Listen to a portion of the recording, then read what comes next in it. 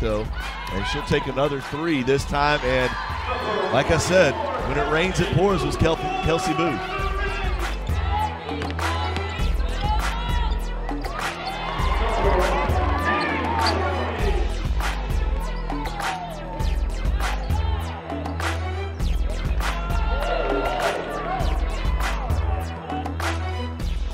Bolden with a nice little move there to get open and drain the bucket on the inline.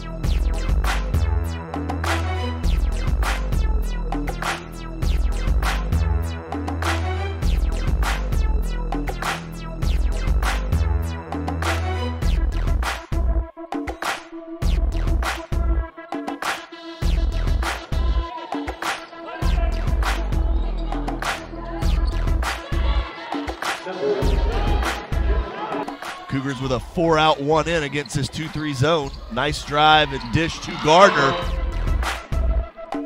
Three by Brown in the corner.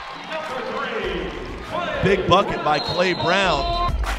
Is Bolden with the ball. I'll give it to you in a second. Drives to the rack, gets the bucket. No timeout.